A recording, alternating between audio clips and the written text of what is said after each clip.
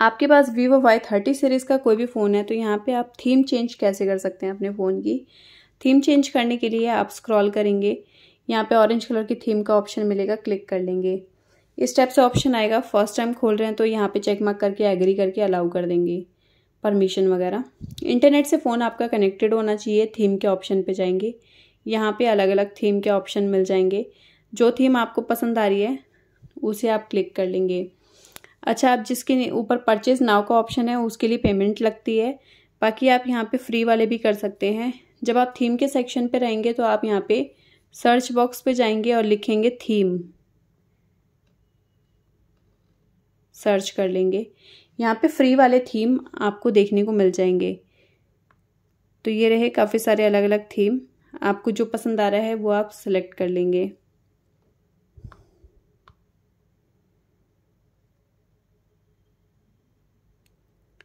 तो अभी आप कहोगे कि इसके नीचे भी तो पेमेंट लग रही है। तो यहाँ पे थीम की जगह आप लिखोगे फ्री सॉरी गलती से मैंने थीम लिख दिया था, मेरा ध्यान कहीं और है। फ्री लिख देंगे।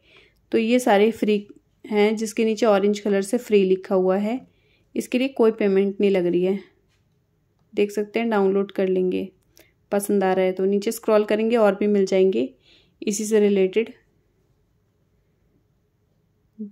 जैसे ये भी प्यारा है। चलो इसी को सेट कर देते हैं। डाउनलोड पे क्लिक कर लिया। अप्लाई पे क्लिक कर लेंगे वेट कर लेंगे। ये हो चुका है बैक कर लेंगे। देख सकते हैं थीम आपका चेंज हो चुका है। फ़ोन कुछ इस टाइप से दिखता है। तो बाकी जगह ये इतना अप्लाई नहीं हुआ। बाकी आइकन पे लॉक स्क्रीन होम स्क्रीन पे कुछ इस टाइप से दिखेगा। ठीक है?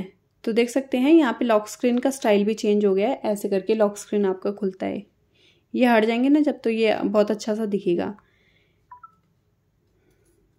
वापस से आपको दिखाती हूँ। देख सकते हैं। इसी टाइप के इंटरेस्टिंग वीडियोस के लिए आई बटन पे क्लिक कर लेंगे और बाकी आपको नॉर्मल वैसा थीम चाहिए। जैसे ये पहले था तो इसके लिए आप यहाँ पे उसी थीम के ऑप्शन पे वापस जाएँगे या फिर आप सेटिंग से भी जा सकते हैं। थीम पे जाने के बाद यहाँ पे आप इसको कट कर लेंगे बैक कर लेंगे मी पे क्लिक कर लेंगे और यहाँ पे लोकल थीम पे क्लिक कर लेंगे। मिलते हैं नेक्स्ट वीडियो में, तब तक के लिए नमस्कार।